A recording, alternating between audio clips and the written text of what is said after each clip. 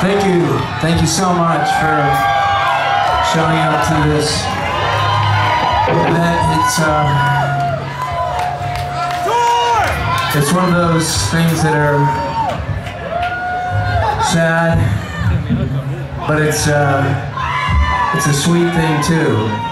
You know, um, I remember when Matt and I did the same thing when we played a benefit for when our brothers passed away, and it was a really rough show. Um, and uh, this being Dave's best friend, we just want to send all all the love and all the good wishes, all the prayers out to his family. Thank you.